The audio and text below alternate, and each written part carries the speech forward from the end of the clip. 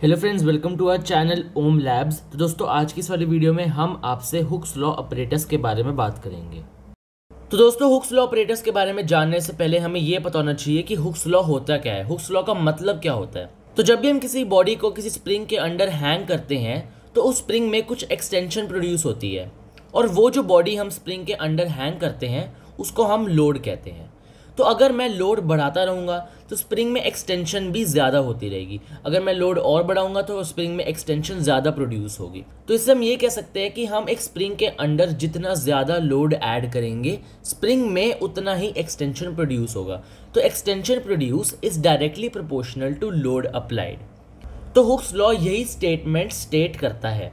या फिर हम लोड अप्लाइड को स्ट्रेस भी कह सकते हैं और एक्सटेंशन प्रोड्यूस को स्ट्रेन भी कह सकते हैं। तो strain is directly proportional to stress कि जितना हम ज़्यादा स्ट्रेस देते रहेंगे स्प्रिंग को स्प्रिंग में उतना ही स्ट्रेन बढ़ता रहेगा। तो हुक्स लॉ ऑपरेटर्स को किसी भी हेलिकल स्प्रिंग का फोर्स कांस्टेंट फाइंड आउट करने के लिए यूज़ करा जाता है।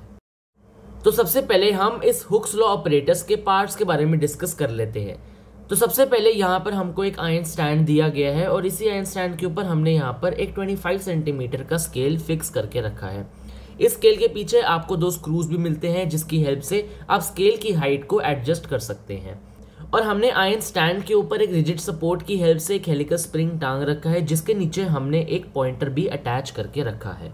पॉइंटर के साथ ऑलरेडी अटैच्ड एक स्लॉटेड वेट भी है, जिसका टोटल वेट 20 ग्राम्स है। और इस ऑपरेटर्स के साथ हम आपको 20 ग्राम के फोर स्लॉटेड वेट भी प्रोवाइड करते हैं। इस ऑपरेटर्स के साथ हम आपको एक ऑपरेटिंग मैनुअल भी प्रोवाइड करते हैं, जिसकी हेल्प से आप इजीली एक्सपेरिमेंट कर सकते हैं। तो जैसे आप देख सकते हैं, हमारा जो यहाँ पर पॉइंटर है, वो टू सेंटीमीटर पे फिक्स्ड है। अब हम एक एक करके हर 20 ग्राम स्लॉटेड वेट को हेलिकल स्प्रिंग पे हैंग करेंगे और चेक करेंगे कि एक 20 ग्राम स्लॉटेड वेट के हैंग होने से स्प्रिंग में कितनी एक्सटेंशन आती है। तो जैसे मैंने आपको बताया था पॉइंटर के नीचे जो स्लॉटेड वेट अटैच्ड है उसका वेट 20 ग्राम्स है और अभी यहाँ पर ये रीडिंग 2 सेंटीमीटर दिखा रहा है। और अब हम इसी हेलिकल स्प्रिंग पर एक और 20 ग्राम का स्लॉटेड वेट ऐड करेंगे और चेक करेंगे कि कितनी एक्सटेंशन स्प्रिंग में आती है। तो अब मैं ये 20 ग्राम का स्लॉटेड वेट इस पर ऐड कर देता हूँ।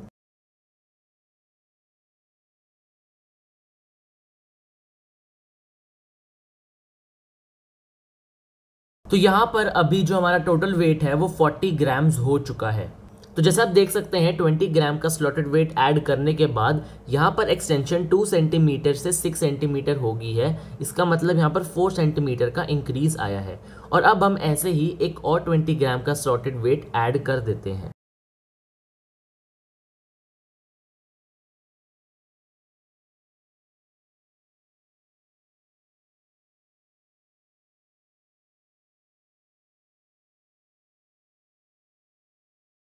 तो जैसे आप देख सकते हैं, मैंने अब यहाँ पर सेकेंड ट्वेंटी ग्राम का स्लॉटेड वेट ऐड कर दिया है। यहाँ पर अब हमारा टोटल वेट सिक्सटी ग्राम्स हो चुका है।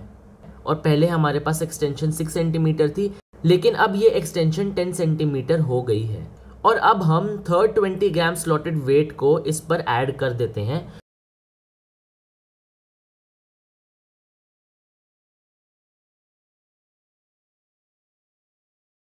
यहाँ पर अब स्लॉटेड वेट्स का टोटल वेट 80 ग्राम्स हो चुका है। अब पहले जो रीडिंग थी वो 10 सेंटीमीटर थी और इस 20 ग्राम स्लॉटेड वेट को ऐड करने के बाद जो रीडिंग आ रही है दैट इज़ 14 सेंटीमीटर अब हम अपना last and fourth 20 gram slotted weight add कर देते हैं।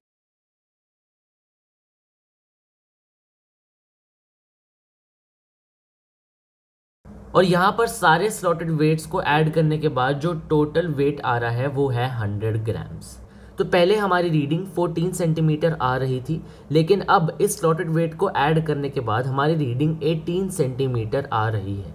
तो इस ऑब्जर्वेशन से हम ये नोट डाउन कर सकते हैं कि after adding every 20 gram of slotted weight 4 centimetre का इंक्रीज आता है इन दी एक्सटेंशन अब ये जो भी सारी रीडिंग्स थी जो हमने यहाँ पर ऑब्जर्वेशन में नोट करी, ये सारी रीडिंग्स लोडिंग की थी। हम यहाँ पर स्लॉटेड वेट्स को हेलिकल स्प्रिंग पे लोड कर रहे थे। लेकिन टू बी श्योर कि हमारी रीडिंग सही थी, हम इन्हीं वेट्स को अनलोड करके भी देखेंगे और फिर इनकी रीडिंग्स वापस नोट डाउन करेंगे। तो 100 ग्राम्स के लिए यहाँ पर हमारी अनलोडिंग की रीडिंग 18 सेंटीमीटर ही होगी। अगर यहाँ से मैं एक 20 ग्राम का स्लॉटेड वेट हटा देता हूँ तो हमारा टोटल वेट रह जाता है 80 ग्राम्स और 80 ग्राम्स के लिए हमारी एक्सटेंशन आती है 14 सेंटीमीटर तो अगर मैं यहाँ पर एक और 20 ग्राम का स्लॉटेड वेट हटा देता हूँ तो हमारा टोटल वेट अब 60 ग्राम्स रह जाता है और 60 ग्राम्स में हमारी अनलोडिंग की रीडिंग आती है 10 सेंटीमीटर और अब अगर मैं एक और 20 ग्राम का स्लॉटेड वेट हटा देता हूँ फिर से तो हमारे पास यहाँ पर टोटल वेट रह जाता है 40 ग्राम्स और अब जो हमारे पास यहाँ पर अनलोडिंग की रीडिंग आ रही है that is equal to 6 centimetre और अब अगर मैं अपना लास्ट 20 ग्राम स्लॉटेड वेट यहाँ से अनलोड कर देता हूँ तो हमारा टोटल वेट 20 ग्राम्स रह जाता है और हमारी रीडिंग वापस 2 सेंटीमीटर के इक्वल आ जाती है। तो अब हम इस अपरेटस का ऑब्जर्वेशन टेबल ड्रॉ कर लेते हैं।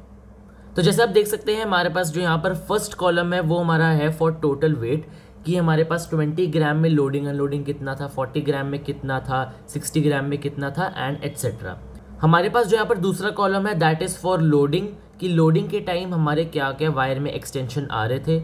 जो थर्ड कॉलम है दैट इज़ फॉर अनलोडिंग की अनलोडिंग के टाइम हमारे पास एक्सटेंशन की क्या क्या रीडिंग्स आ रहे थे। तो फाइनल एक्सटेंशन एल निकालने के लिए कि हमारी जो रीडिंग्स आई हैं, वो एकदम सही आई हैं, हम लोडिंग और अनलोडिंग का मीन कैलकुलेट कर लेंगे और उसी का मीन हमारा फाइनल एक्सटेंशन होगा for each 20 gram 40 gram 60 gram 80 gram and 100 gram तो जैसे आप देख सकते हैं, मैंने यहाँ पर सारे टोटल वेट्स के लिए इनका एक्सटेंशन कैलकुलेट कर लिया है। तो एक्सटेंशन को कैलकुलेट करने के बाद हम इसी ऑब्जर्वेशन टेबल की हेल्प से एक ग्राफ प्लॉट करेंगे। तो जैसे आप देख सकते हैं, मैंने यहाँ पर एक ग्राफ ड्रॉ कर रखा है। एक्स एक्सिस पर मैंने लोड लिया है इन ग्राम वेट और वाई एक्सिस पर मैंने एक्सटेंशन लिया है in centimetre along X axis one centimetre is equal to ten gram weight and along Y axis one centimetre is equal to one centimetre extension तो यहाँ पर आपको extension और लोड के बीच में पॉइंट्स प्लॉट कर लेनी है। तो जैसे 20 ग्राम्स के लिए हमारी एक्सटेंशन 2 सेंटीमीटर थी 40 के लिए 6 सेंटीमीटर थी 60 के लिए 10 थी, ऐसे ही आपको 5 पॉइंट्स प्लॉट कर लेने हैं और उन्हीं फाइव पॉइंट्स के ऊपर आपको एक स्ट्रेट लाइन ड्रॉ कर लेनी है। तो इसी स्ट्रेट लाइन को ड्रॉ करने के बाद हम हेलिकल स्प्रिंग का फोर्स कांस्टेंट फाइंड आउट कर सकते हैं। तो आपको करना क्या है? आपको इस स्ट्रेट लाइन पर कोई भी दो पॉइंट सिलेक्ट कर लेने हैं। तो जैसे आप देख सकते हैं, मैंने यहाँ पर ए पॉइंट ले रखा है, जो कि सबसे टॉप मोस्ट पॉइंट है, और बी पॉइंट ले रखा है, जो कि सबसे लोवेस्ट पॉइंट है। तो जैसे आप देख सकते हैं, मैंने यहाँ पर एक बी सी लाइन ड्रॉ कर दी है which is parallel to X axis और एक ए सी लाइन ड्रॉ कर दी है which is parallel to Y axis तो आपको इसी ग्राफ का स्लोप कैलकुलेट करना है to find the force constant because slope is equal to force constant of the helical spring तो slope is equal to B C upon A C which is equal to force constant force constant is equal to delta F upon delta L तो B C हमारा delta F हो जाएगा और ए सी हमारा delta L हो जाएगा. तो B सी delta F को निकालने के लिए हमें बी सी की हाईएस्ट वैल्यू लेनी पड़ेगी। तो बी सी की highest value is hundred gram weight and lowest value is twenty gram weight तो hundred minus twenty is equal to B C और अगर हम ए सी की बात करें तो ए सी में भी हमें हाईएस्ट वैल्यू लेनी पड़ेगी और लोएस्ट वैल्यू लेनी पड़ेगी। तो ए सी की highest value is 18 centimetre and lowest value is 2 centimetre तो 18 minus two centimetre is equal to AC So slope is equal to force constant which is equal to delta F upon delta L which is equal to BC upon AC which is equal to 100 minus 20 gram weight upon 18 minus 2 centimeter which is equal to 80 gram weight upon 16 centimeter which is equal to 5 gram weight per centimeter. So 5 gram weight per centimeter is the force constant of the helical spring which we have used in the Hooke's law apparatus. तो दोस्तों, ये थी हमारी video hooks law operators के ऊपर। तो इस video में हमने यहाँ पर आपको हुक्स लॉ ऑपरेटर्स के बारे में जानकारी दी, इसके पार्ट्स के बारे में डिस्कस करा। फिर हमने इस हुक्स लॉ ऑपरेटर्स का ऑब्जर्वेशन टेबल भी ड्रॉ करा और फिर ग्राफ भी प्लॉट करा, जिसकी हेल्प से हमने फोर्स कॉन्स्टेंट फाइंड आउट करा हेलिकल स्प्रिंग का। सो वी होप आपको ये वीडियो पसंद आई होगी और अगर आपको वीडियो पसंद आई तो इस वीडियो को लाइक करें, हमारे चैनल को सब्सक्राइब करें, क्योंकि हम हमेशा ऐसे ही वीडियोज़ लाते रहते हैं। और अगर आप इस प्रोडक्ट को खरीदना चाहते हैं या इस प्रोडक्ट से रिलेटेड आपकी कोई इंक्वायरी है तो आप स्क्रीन पे दिए हुए ईमेल पे हमें कांटेक्ट कर सकते हैं।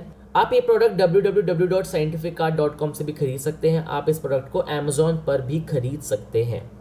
आप हमारा इंस्टाग्राम और फेसबुक भी विज़िट करें। Thank you